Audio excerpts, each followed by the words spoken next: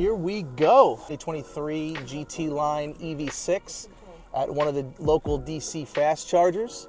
Um, you'll see how easy it is to use just in case you're out and about going on a long trip and you need to get back on the road in 18 minutes as advertised. With the DC fast charger, you will be getting 10% to 80% in about 18 minutes. Have a very adaptive heads-up display. It's going to show a slew of information.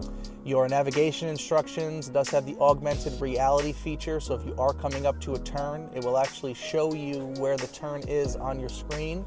It's going to show you your speed limit for the current road that you're on. Right on your digital dash here, it's going to activate your side view mirror camera. Um, really gives you a great idea of your blind spot. You also have a nice convenient button right there. That's 50 kilowatts, that's 150 kilowatts. The EV6 is rated for both. Simple as plugging in a lamp. And there you go, that's all you need to do. Go inside, grab a couple things from Walmart. By the time that long line ends, you're back to 80%.